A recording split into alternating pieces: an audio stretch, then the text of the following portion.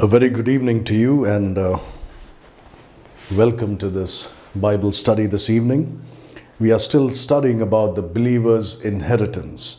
So far, in the last two Bible studies, we have seen what the Bible says about salvation and inheritance. We have seen the differences between the two. And uh, once again, let me uh, repeat this because the best way to learn something is by way of repetition. So it is good for a preacher or a teacher to repeat himself, even though for some it might be a little tedious sometimes, it is good for others. All right, so the difference between salvation and inheritance, without going into the details, is that salvation is a free gift accomplished by what Jesus Christ did on the cross for your sins and mine. When he died for our sins, was buried, and rose up again. Inheritance, on the other hand, is not based really on our. Uh, on, on uh, or rather, it's not a free gift, it is an earned reward. We work for it. All right, so that's the difference. Salvation is given to you as a free gift by the Lord Jesus Christ, by God, based on what He has accomplished on the cross, whereas inheritance is not so. It is something that the believer earns.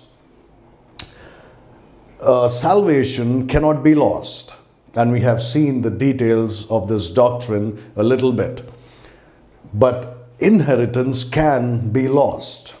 And that's why a born again believer has to be careful about his life here on this earth. We have seen that salvation is ours now presently, in this present time. But in the, the uh, you know the inheritance that God gives to the born again Christian is yet future. It will be ours in the future. So it should help you to uh, understand the differences between salvation and inheritance because Christians get confused on this uh, simple doctrine of salvation.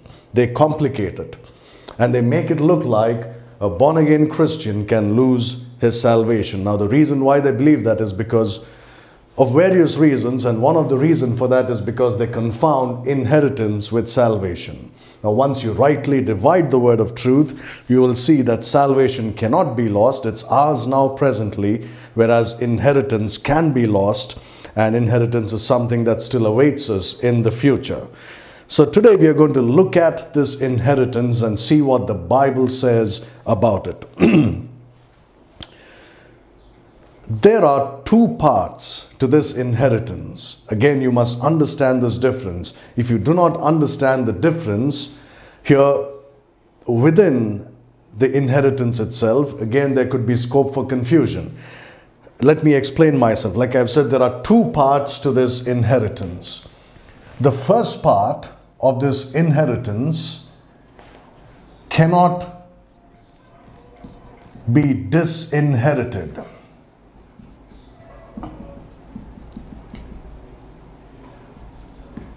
Let me explain what I mean by this. There is one part of our inheritance that cannot be disinherited. Let me show you what I mean by this. Look at Ephesians chapter 1 and verse 11. Ephesians chapter 1 and verse 11. In whom also we have obtained an inheritance, being predestinated according to the purpose of Him who worketh all things after the counsel of his will. Now look at this.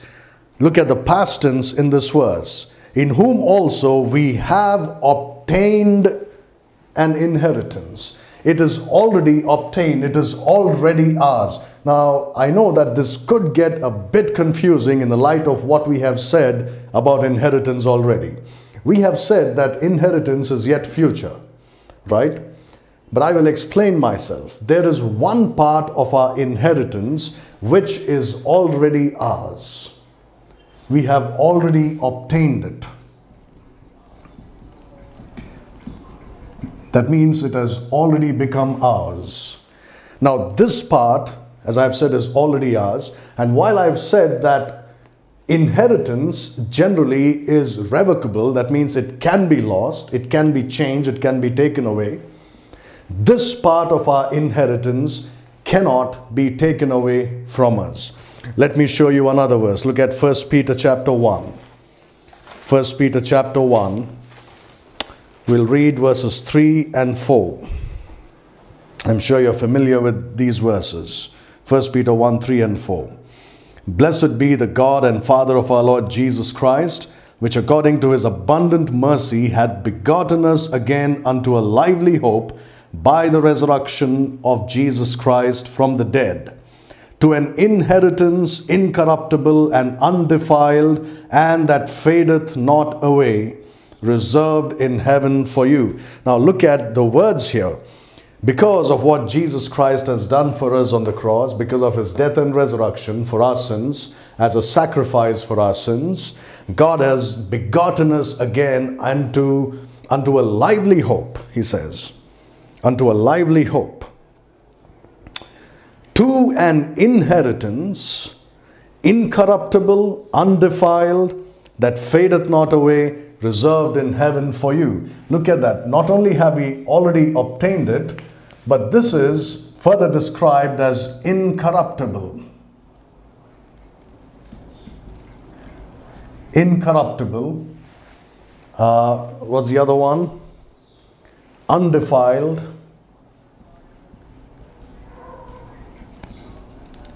That fadeth not away. Reserved in heaven. This is reserved in heaven for us.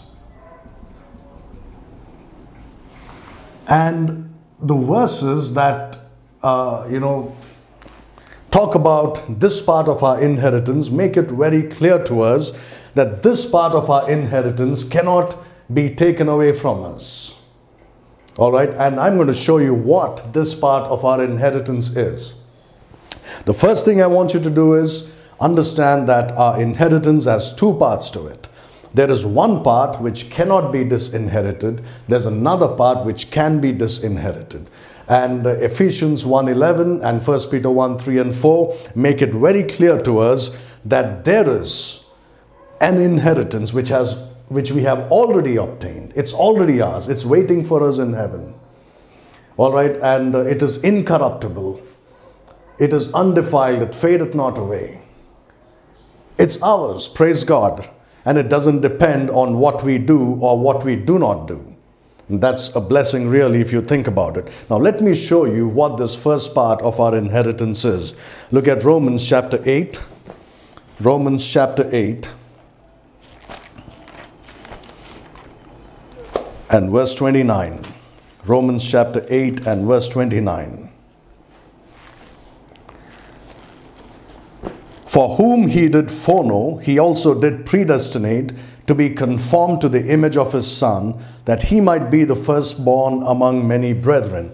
Now, brethren, that the Bible talks very clearly about how we are going to get the image of the Lord Jesus Christ. Now, when you talk about the image of the Lord Jesus Christ, you should not get confused because there is a spiritual aspect to the image of God, right? We have the image of God, the Lord Jesus Christ, restored in us already.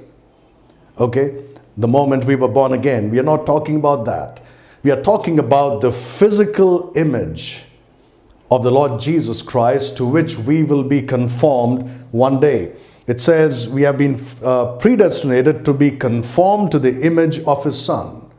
This is talking about a future event when we will be conformed into the image of His Son, Jesus Christ. The promise is ours. It's as if we already have it, but we just have to wait, right, for that moment when the Lord Jesus Christ shall come down for the church. And that is the moment that, you know, the moment of the rapture, when we will be changed into the image of the Lord Jesus Christ. Right now, we have the spiritual, we bear the spiritual image of God, which man lost when he sinned, right? Adam, when Adam sinned, he lost the image of God. He lost the image of God.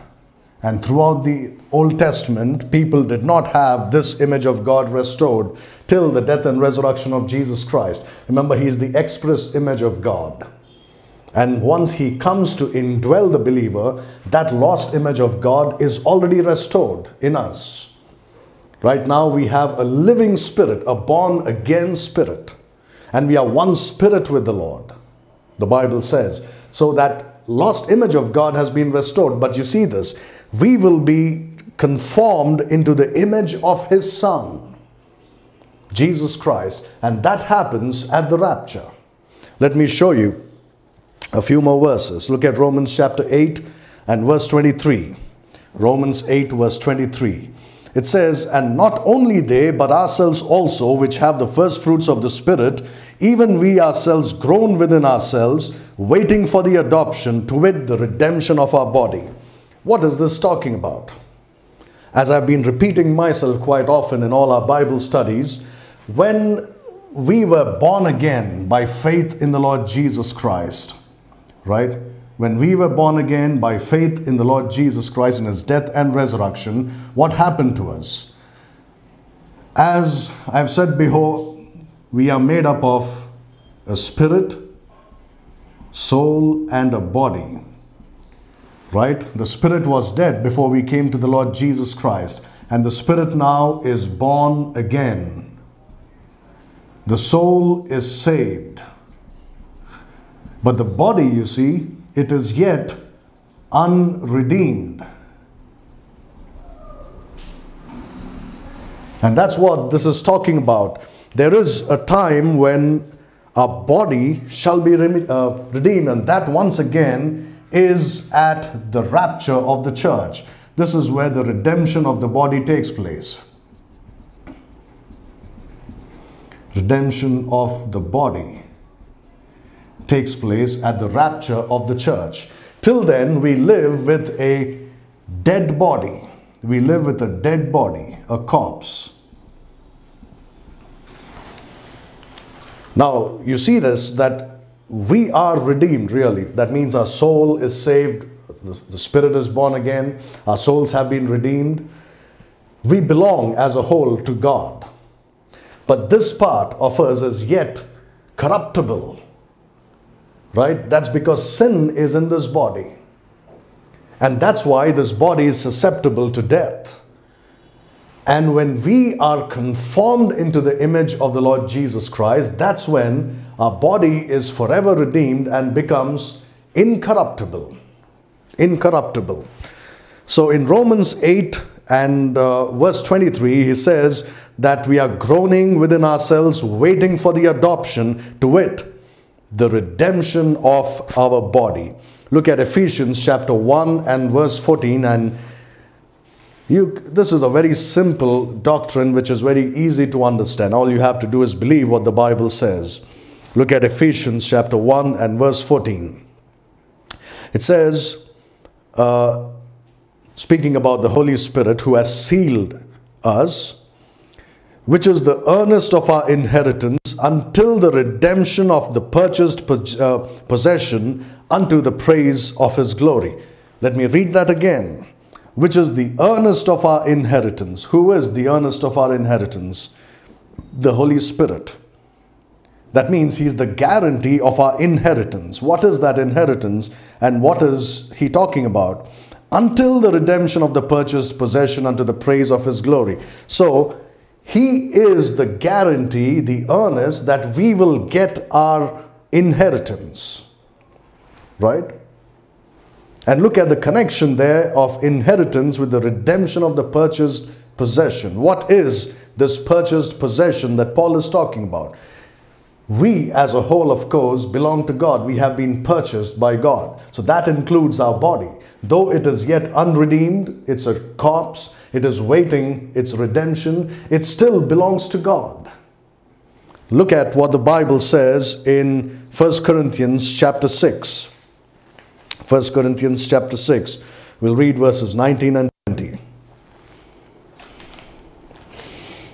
1 Corinthians chapter 6 verses 19 and 20.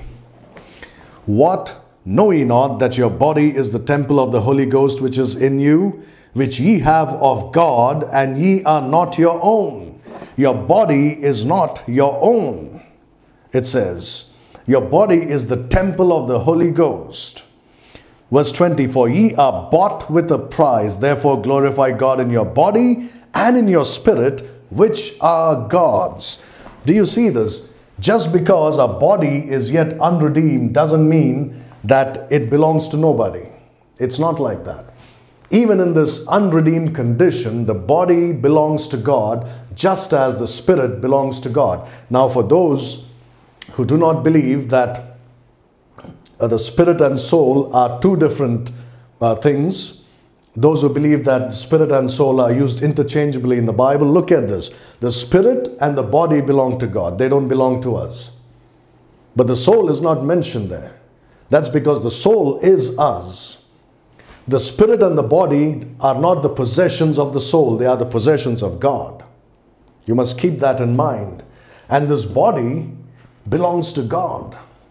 That's why Paul talks about how we should give our body to God as a living sacrifice, holy and acceptable. He didn't say, give yourselves or he didn't say, give uh, your life, as some people say, give your life as a living sacrifice. It doesn't say that. Romans chapter 12, verses 1 and 2. It says, give your bodies a living sacrifice. It is unredeemed, but there is a guarantee that this body will be redeemed. Why am I talking about this? Remember, we are talking about that part of our inheritance which cannot be lost. And what I'm trying to get at here is that that part of our inheritance, which we will get for sure, is a glorified body. A glorified body which we receive at the rapture. A glorified body is what the Bible calls being conformed into the image of the Lord Jesus Christ. This is the image of his son that we just read about in the book of Romans. He has predestinated us to be conformed into the image of his son. It's already been decided, predestinated. God has already decided your destiny as a born again Christian that you will have the image of his son, which is a glorified body. What is the image of his son, Jesus Christ? What do you think? Do you think God wants you to look like his son before he became a man in his pre incarnate state? No. Right? He wants you to look like him and be like him when he rose up from the dead. When the Lord Jesus Christ rose up from the dead. I'm going to show you a couple of verses in connection to that. But just keep this in mind that the Holy Spirit is the earnest of our inheritance. He is the guarantee that we will get our inheritance until the redemption of the purchased possession. He is the guarantee that uh, you know the purchased possession will be redeemed we will be conformed into the image of his son we will be given a glorified body. Look at philippians chapter 3 and verse 21 philippians chapter 3 and verse 21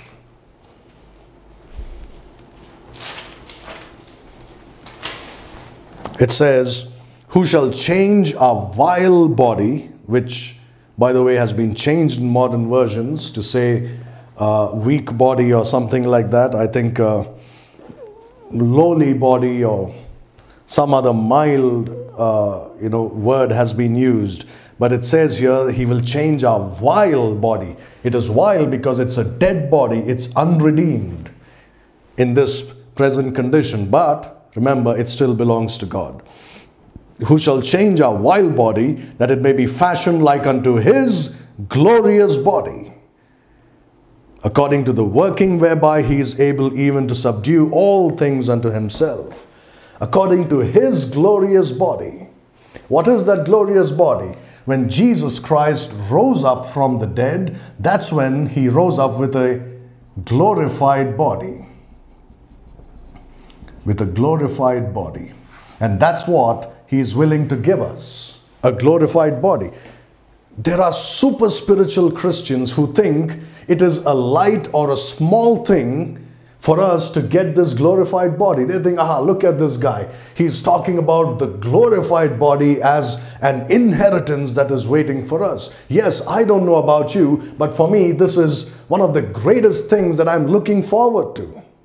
To have a body which cannot have sin in it, firstly. There won't be any sin. Can you imagine that? No temptations, no lusts of the flesh right?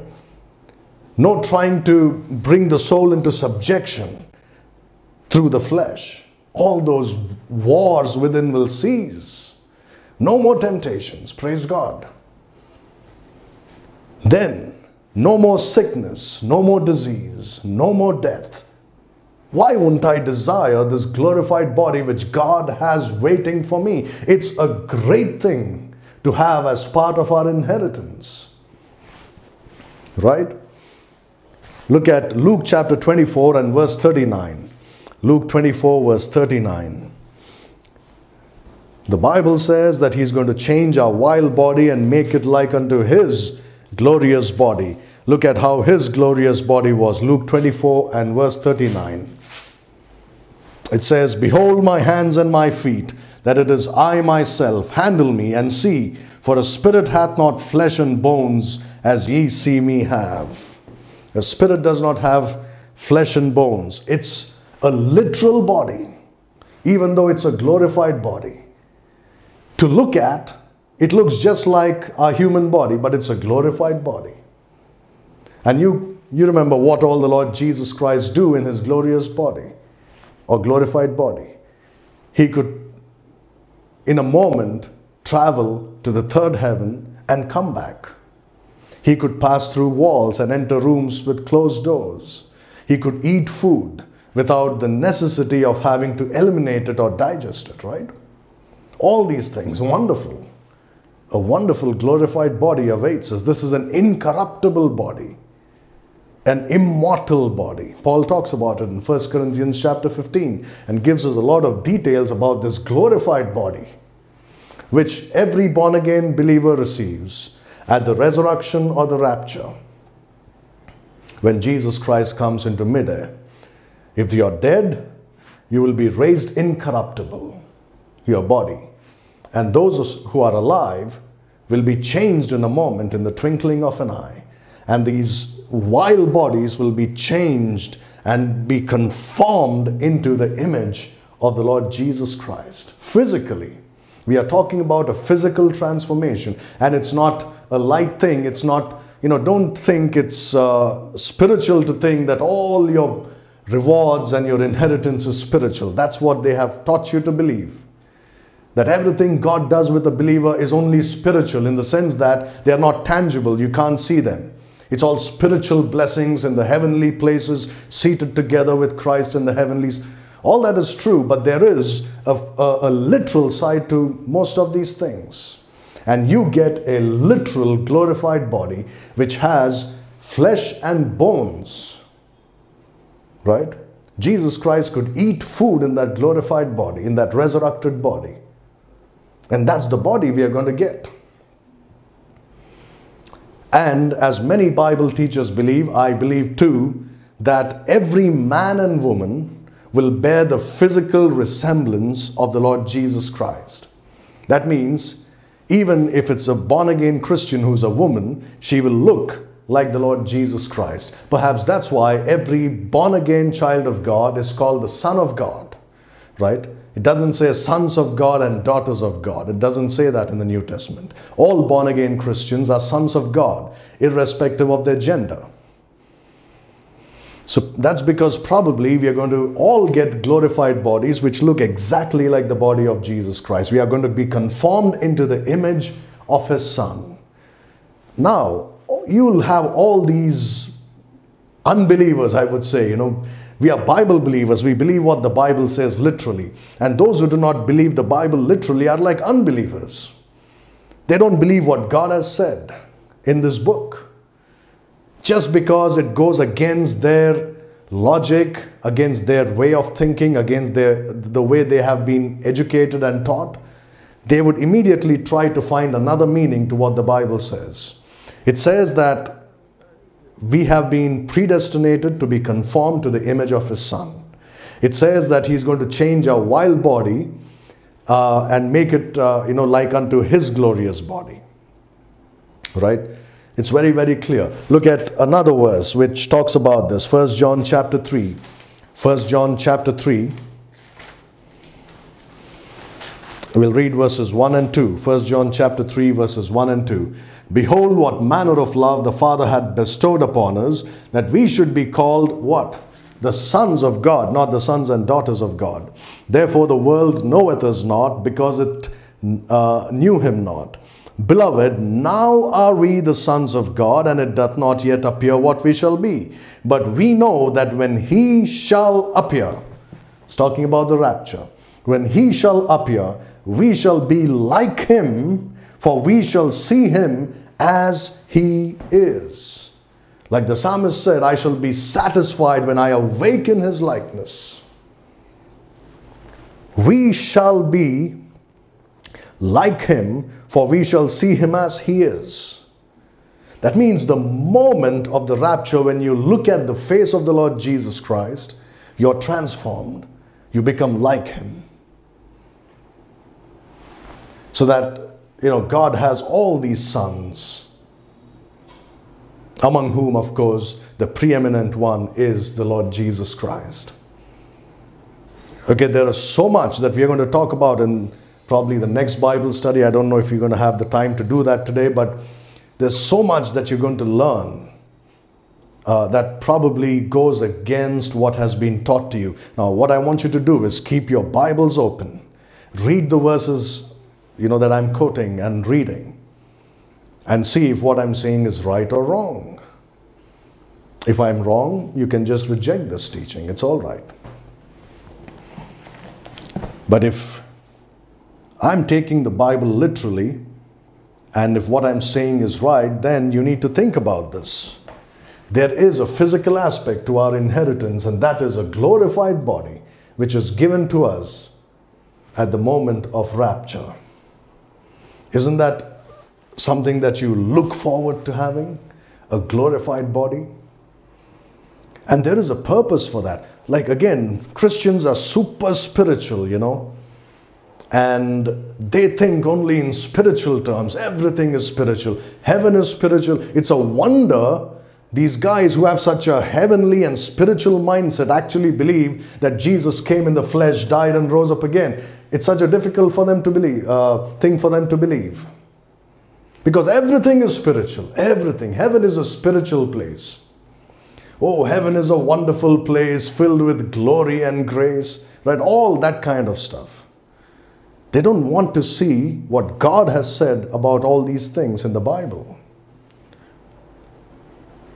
They think going to heaven is like you're going to just be there throughout eternity in the third heaven in the presence of God, sitting down at the feet of God, maybe with an instrument in your hands, playing, singing praises. Probably you'll be given a pair of wings and you'll be flying around there, floating around there, around the throne, praising God, and all such kinds of unbiblical nonsense. The Bible is very clear about these things. You have been, you, you're given a glorified body for many reasons. All right, one of them is the fulfillment of the prophecy of Isaiah by his stripes we are healed, right? That is yet awaiting. It is at this point when the redemption of the body takes place that we are healed forever, right? Remember, those uh, in the millennial reign of Jesus Christ to enter eternity, they have to eat the leaves of the tree of life. It is for the healing of the nations.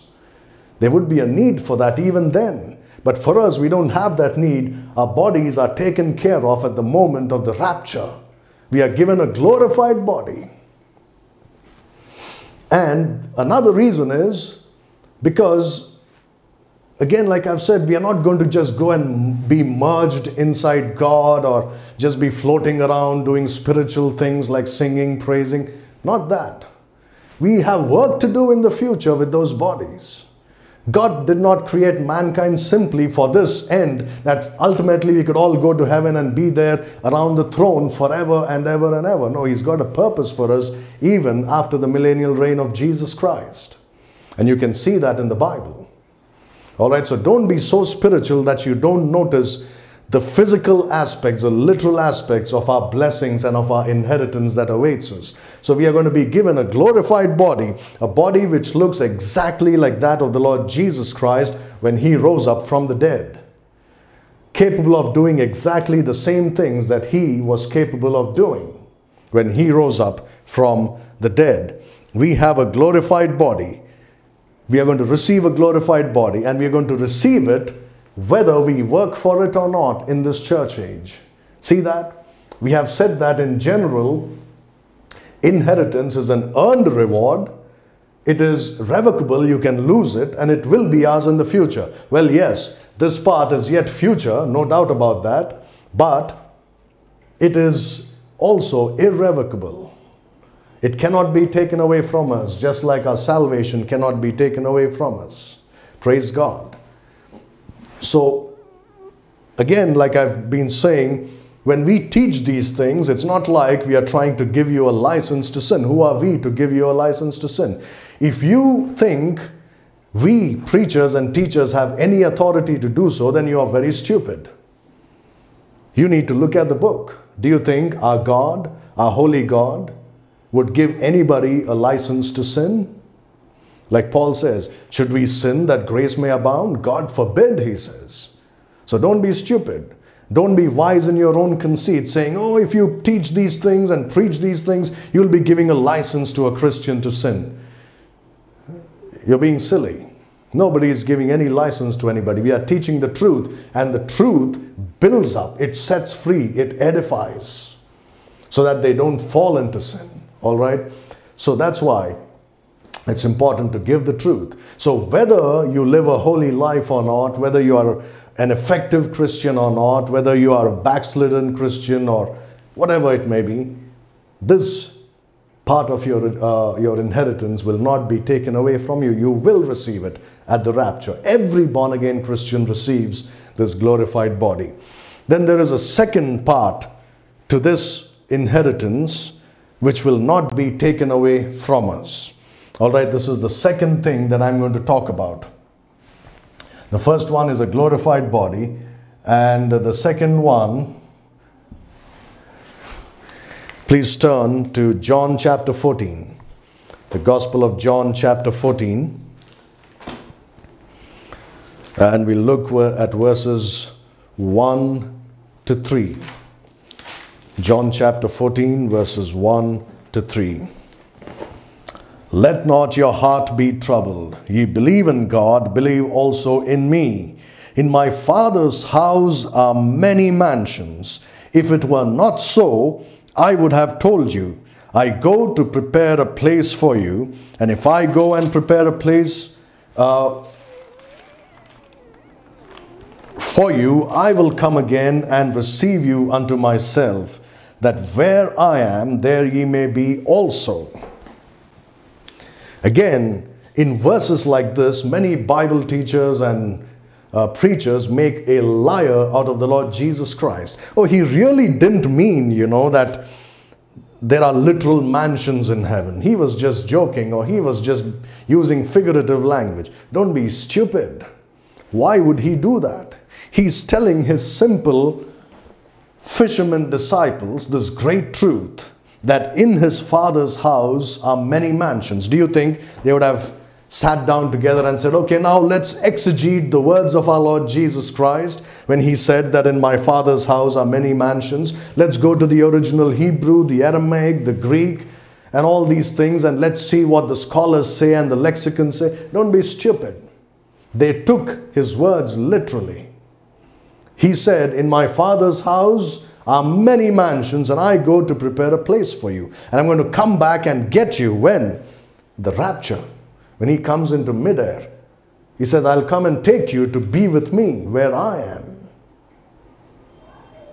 So the second part of our inheritance is a mansion. It's a mansion. The first one is a glorified body. The second part of our inheritance, which cannot be disinherited, is a mansion for every born again Christian.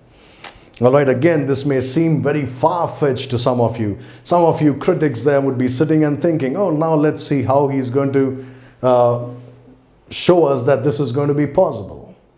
I don't have to do anything, I just have to show you the verses in the Bible. God has said these things in His book, I'm only showing them to you. All right, so it's up to you whether you believe what God said or not.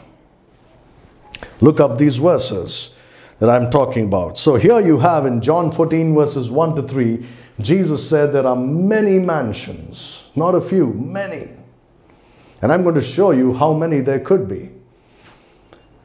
And he's not talking about some spiritual mansion, right? He's not talking about some earthly mansion. He's talking about heaven. And he's saying there are going to be there are mansions in heaven. In my father's house are many mansions. If it were not so, I would have told you. If this was only a spiritual mansion, I would have told you. If this was, if I was talking only about a figurative mansion, I would have told you. But I'm telling you, there are mansions in my father's house. And that mansion is waiting for you. And that's where I'm going to be, praise God. Again, irrespective of how we live here as born again Christians, we have a mansion waiting for us. I'm going to show you a little bit more about that. Uh, look at Hebrews chapter 12. Hebrews chapter 12. All the while you thought all these verses were figurative. You need to get that out of your mind. All right? They have made it look like this book is a religious book full of things that you need to spiritualize, full of things that you need to understand spiritually. You know why? Because they cannot explain these things otherwise. Uh, they feel they would be put to shame before unbelievers and before uh, critics of the Bible. So they say, oh, no, no, no, all these things have to be taken spiritually. This is a religious book which is giving you a religious message. No, that's wrong.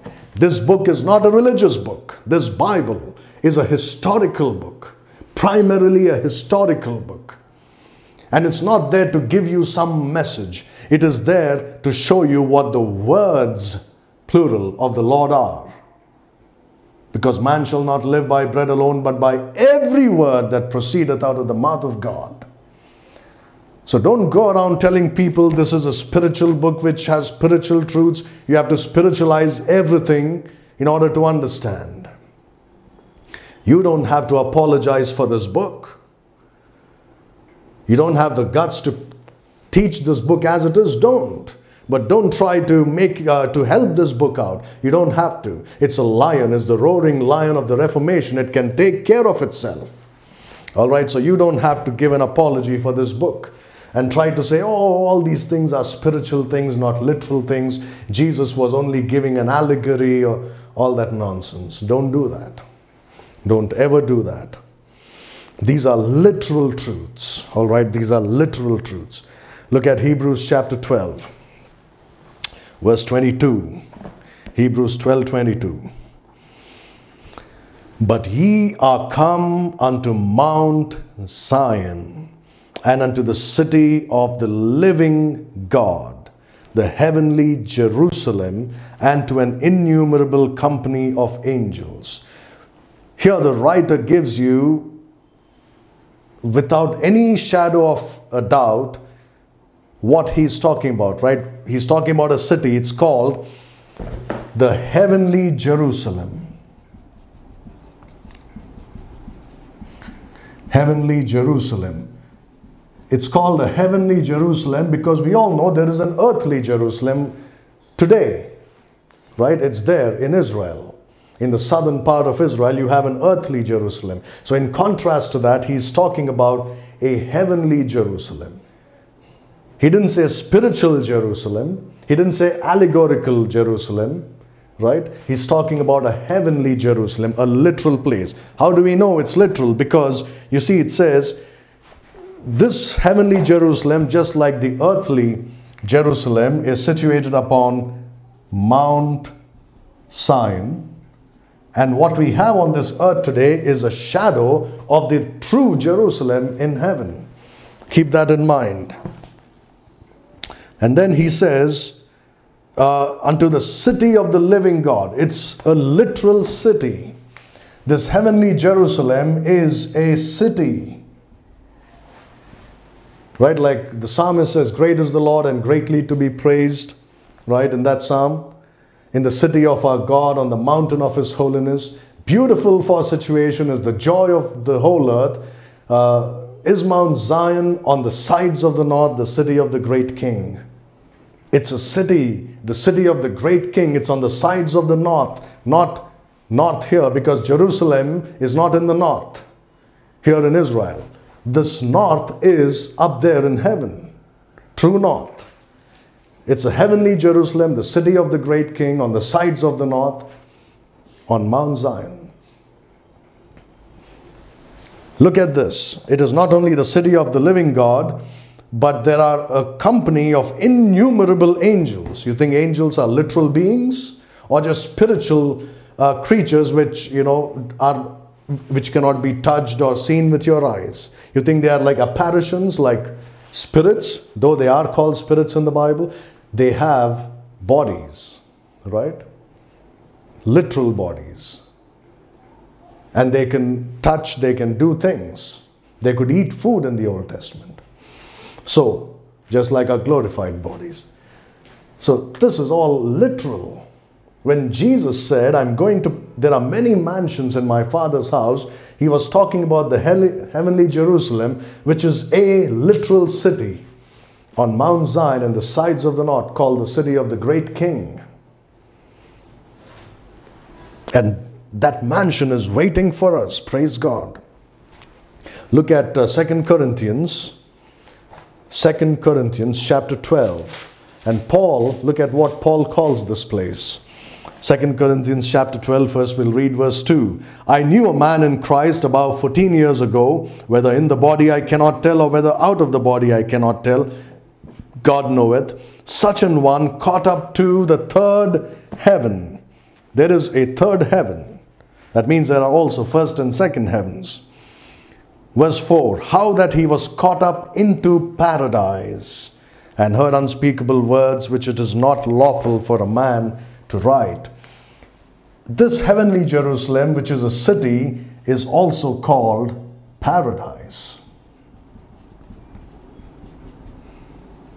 Now, we don't have the time, but you can go to the book of Revelation and look how this heavenly Jerusalem is indeed called paradise. But I'm going to show you a few verses in the book of Revelation that talk about this mansion uh, or, or this heavenly city where there are mansions waiting for us. Look at Revelation chapter 21.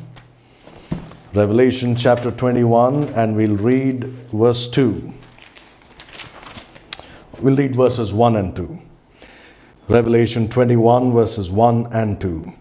And I saw a new heaven and a new earth, for the first heaven and the first earth were passed away, and there was no more sea. So, this is in the new heaven and the new earth that God creates at the end of the millennial reign of Jesus Christ. Verse 2 And I, John, saw the holy city, New Jerusalem. Look at that. Heavenly Jerusalem, New Jerusalem. These are the names given to this city. New Jerusalem coming down from God out of heaven, prepared as a bride adorned for her husband. At the end of the millennial reign of Jesus Christ, when God, you know, renovates the earth or whatever you call it with fire and creates a new heaven and the new earth, New Jerusalem comes down from heaven, out of heaven from God. Remember what Jesus said, In my Father's house there are many mansions. Where do you think those mansions would be? Wouldn't they be in paradise? What do you think? Because that's where we are going to spend eternity in paradise. The paradise that comes down from heaven. And that's where those mansions would be. Now look at uh, the same chapter, Revelation 21 and verse 9. And verses 9 and 10 and there came unto me one of the seven angels which had the seven vials full of the seven last plagues and talked with me saying come hither. I will show thee the bride the lamb's wife. Who is the bride the lamb's wife? It's the church right? It's the church. It's made up of every born again christian in this church age in this church age that we are living in. Every born again Christian in this church age becomes a part of the bride of the Lord Jesus Christ. Verse 10. Look at this. He said, Come, I'll show you the bride, the Lamb's wife.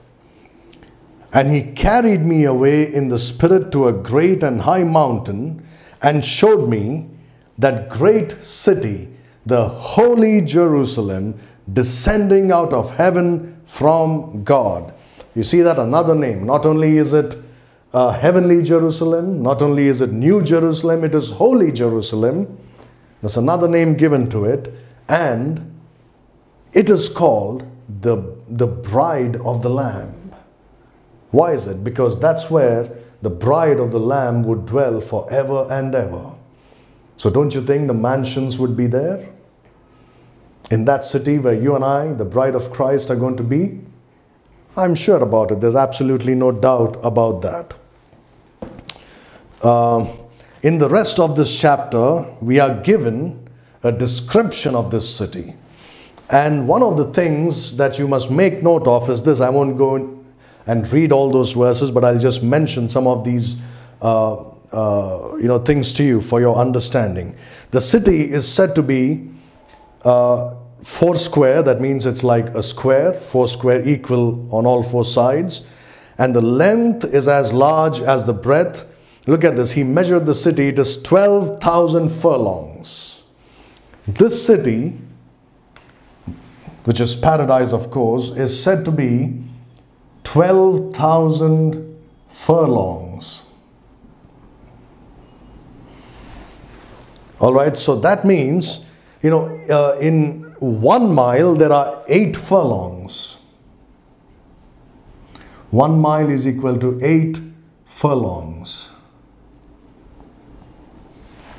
That's how many furlongs are there in one mile. So if you make a simple calculation, you will see that there are that this city would be 12,000 furlongs, which means 1500 miles square or 2,414 uh, kilometers, if you calculate in kilometers.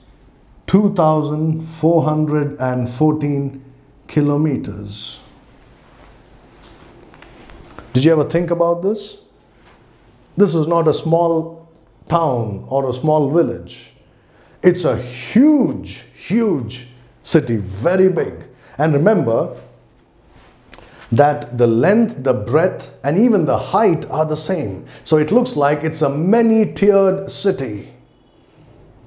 So you can imagine how many mansions would fit. A conservative estimate will tell you that, let's say, if there are about 10 billion born again Christians, right from the moment the first Christian got saved till the last one is raptured in 2000 years of church history, let's say you know, a conservative uh, estimate of 10 billion Christians. I don't know if there would be 10 billion Christians or not, but I'm just saying. Uh, you know, I said it's a conservative estimate. It's not conservative, but let's say on the higher side, let's say there are 10 billion Christians. 10 billion Christians can easily get one acre of land each did you hear that? One acre of land for each of those 10 billion people. Don't you think you can build a beautiful mansion in that one acre and still have enough place for a lot of other things? That city can accommodate about 10 billion born again Christians and have one acre of land for each of these born again Christians and still have land left over in that city for the throne of the Lamb, for the river of life, for the tree of life on either side, and for whatever else God is going to have in that city. There'll be enough land left over for all those things. Do you think it was a joke when Jesus said, In my Father's house are many mansions? I'm going there to prepare a place for you, and I'm going to come and get you. This mansion is yours. No matter what, you're going to. That's because, you see, you're the bride of the Lamb.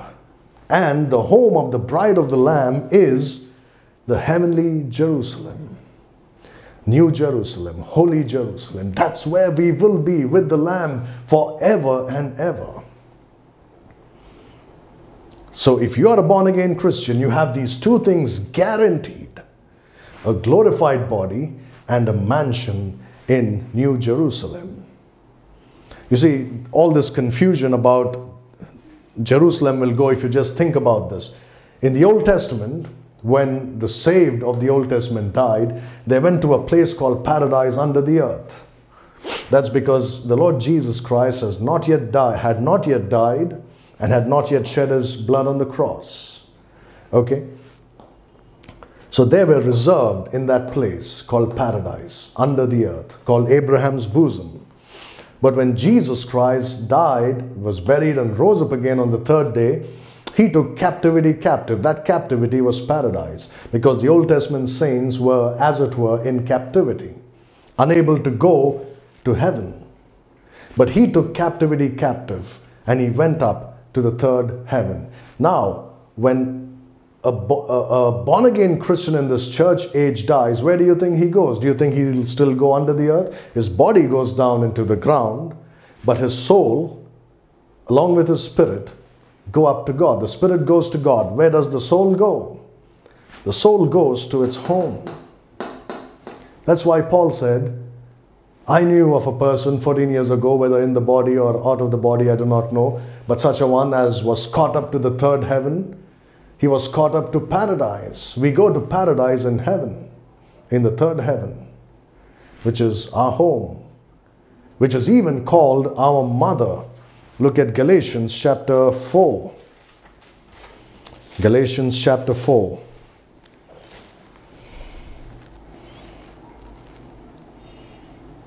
Uh,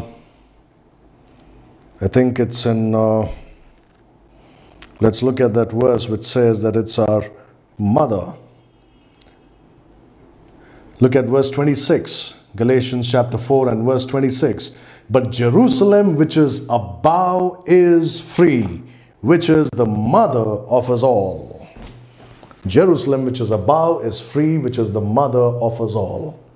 There is a literal city up there in the third heaven, which is 1500 miles in every direction. And even in height, it's 1500 miles high. All right, so 10 billion uh, is a small number really in comparison to the city. 1500 miles in all directions. And there you have these mansions waiting for you. And that's where you're going to spend eternity after the millennial reign of the Lord Jesus Christ. Brethren, I want you to understand this. What I'm trying to say is that there is a part of our inheritance which cannot be disinherited by us. Nobody can take it away from us. These are guaranteed to us, these are waiting for us. One is the glorified body, the other is a mansion for every single born again Christian. And these are not trivial things, these are not things which you can take very lightly, thinking, oh, you're so special. I don't want any rewards, I'm not expecting any rewards from God uh, you know, I'm just grateful that I'm saved. Don't be this, uh, you know, pseudo spiritual Christian. Refusing to delight in what God has in store for you. God has a glorified body in store for you. He has a mansion for you to enjoy. And these none can take away from you. And these itself are such wonderful rewards waiting for us in heaven, but that's not all. God has given us scope to earn so many other things there in eternity or in the millennial reign of Jesus Christ, which I'm going to talk about, the Lord willing, in the next Bible study. But I just want to ask you this.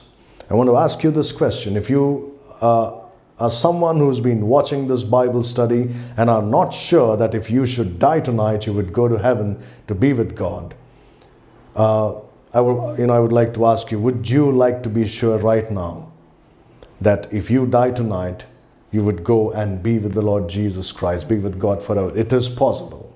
Right now, wherever you are, you can get saved and get this assurance that if you die, you would go to be with Jesus Christ.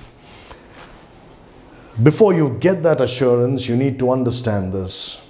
Firstly, that you are a sinner. The Bible says, For all have sinned and come short of the glory of God. You have sinned against God.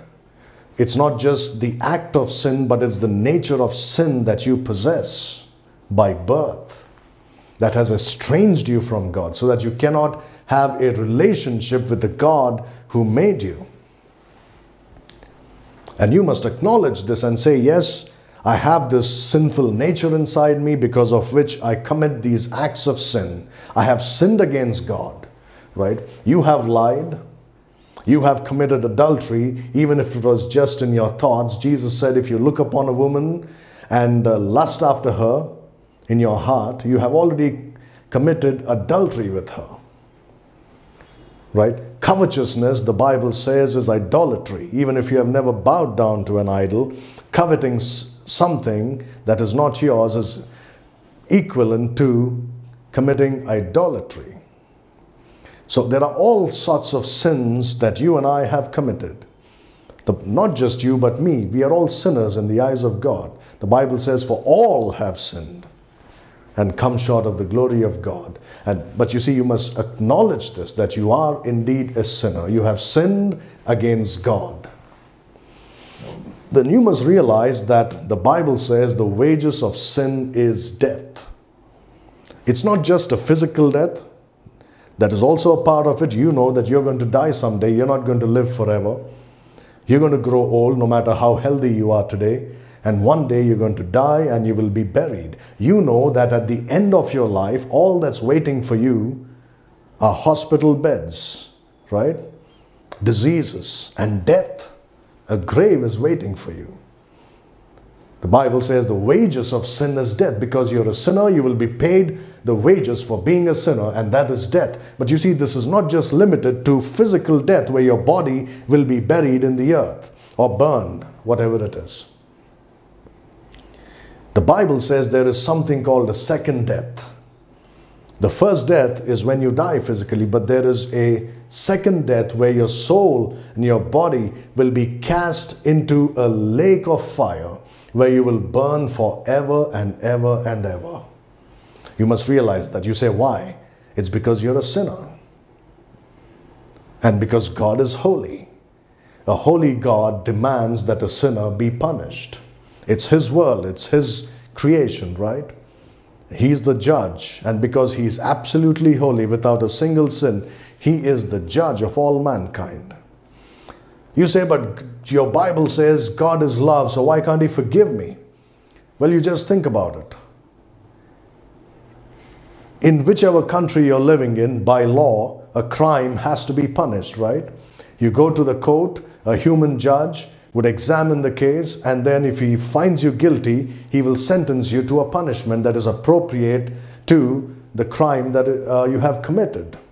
If humans are so right in their dealings with crime, how much more a holy God who is righteous and just and uh, you know holy. Yes, he uh, is love. The Bible says God is love, but he's also holy. He's also just. He's righteous. He cannot simply say, All right, I'll turn the other side. You know, you have committed all these things, but, uh, you know, sins, but it's all right. I'm just going to look the other way. No, it cannot happen. That's why the Bible says the wages of sin is death.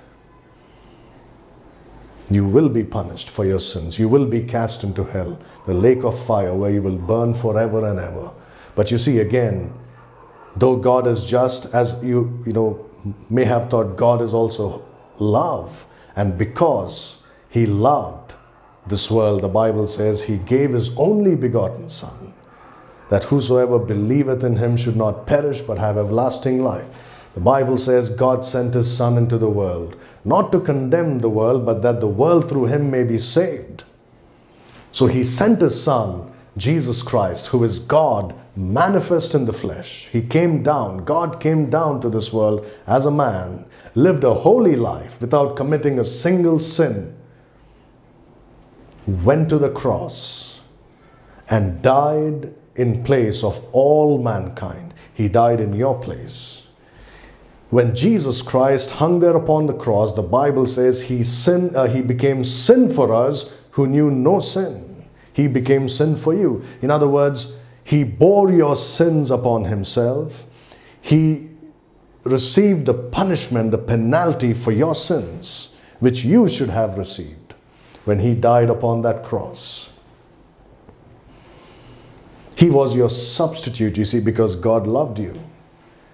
He could have easily just sent all mankind to hell, but he didn't do that. Instead, he gave his son as a sacrifice for the sins of this world, so that his son could bear the punishment that this world deserves, that sinners deserve, that you deserve.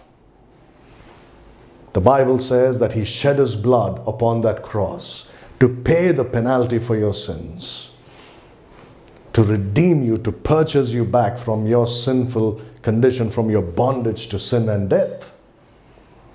And the Bible says he died in your place, he was buried, and he rose up again on the third day, according to the scriptures. All for you, so that you could be saved from your sins and from the penalty of your sins, which is death and hell. Now, what should you do? As I've said in the beginning, you must firstly acknowledge that you are a sinner, that you have sinned against God. Secondly, you must come to Jesus Christ by faith.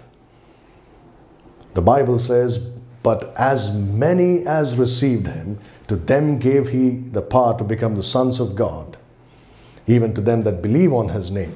If you come and believe what Jesus Christ did for you, and say, Yes, I believe that I'm a sinner, but I also believe that Jesus died on the cross for my sins. He bore my uh, sins upon himself. He took my punishment. He died for me. He was buried and rose up again on the third day. If you believe this, you will be saved this very moment. You say, Well, I believe Jesus died for the sins of the whole world. No, that's not what the Bible says you need to believe. You need to believe that Jesus died for your sins personally. That's why we say you must trust Jesus Christ as your personal Savior, that He has died for your sins. So you believe and say, Yes, Lord, I, I believe with all my heart that Jesus died for me personally, for my sins, to bear my guilt upon Himself. When you do that, your sins will be forgiven. They would be washed in the blood of Jesus Christ. You would be given eternal life you become a born again Christian, a child of God, born again into the family of God. And you would have this assurance through the Holy Spirit that if you die, you would go to heaven to be with Jesus Christ forever. And I want to say this to some born again Christians who are backslidden. You may not have this assurance, but don't think you've lost your salvation. You have lost the assurance of your salvation all right? But you, as an unsaved person, can trust Jesus Christ and His offer of forgiveness and salvation right now and be delivered from your sins, be delivered from the consequences of your sins. I hope and pray that you will trust the Lord Jesus Christ as your Savior right now. The Lord willing, we will meet again in another Bible study and continue and try to finish this subject of the inheritance of the believer and see what is that part of our inheritance that we have to work for and uh, that part of our inheritance which can be lost if we do not take care. Thank you very much for joining us. The Lord bless you.